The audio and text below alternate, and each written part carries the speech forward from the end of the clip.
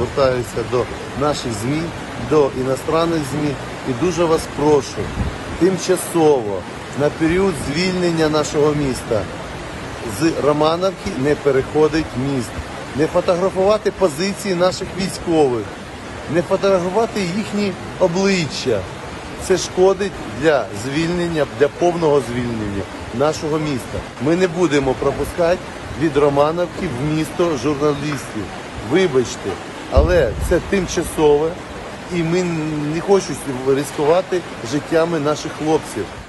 Бо всі бігають, фотографують, показують, викладають в інтернет, показують позицію ворогу. Друзі, з завтрашнього дня жодного журналіста. Я дуже вас прошу за розуміння, щоб ви розуміли, в Ірпіні не буде. Ми не будемо пускати.